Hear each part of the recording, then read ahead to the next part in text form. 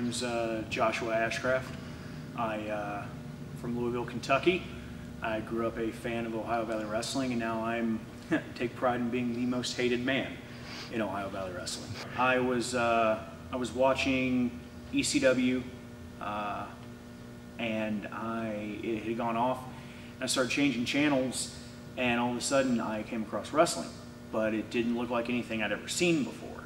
Right as OVW had just signed their developmental contract with WWE.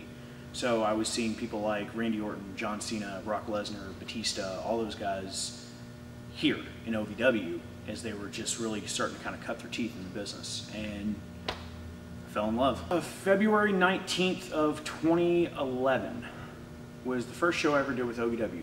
Because we decided to, uh, to partner up with Kevin Thorn, who was seven in OVW. They were doing a benefit show up in Indiana for the people that had died at the Sugarland concert when the storms came through. And our referee got stuck in traffic on the way to Indianapolis.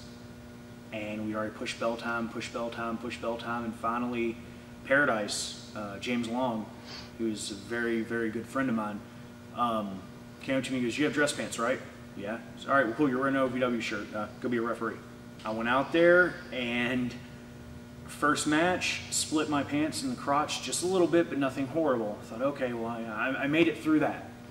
You know, okay, let's go to the next one. It's tag team match. I split my pants from my dick to my knee.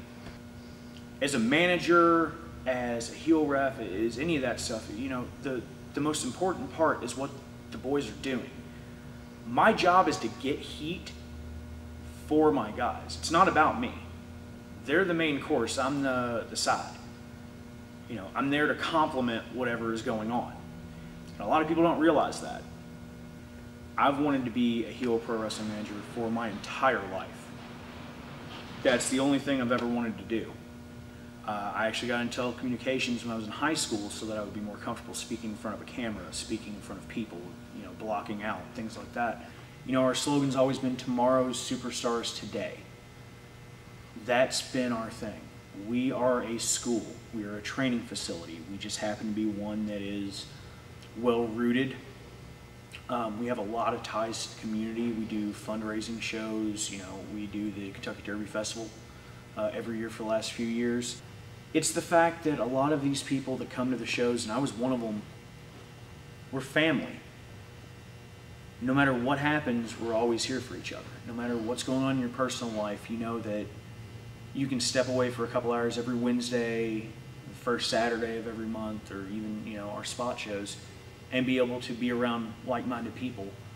No matter what happens to me for the rest of my life, no matter where I go, no matter what I do, my name will be in the history books attached to Ohio Valley Wrestling, and I've left a legacy.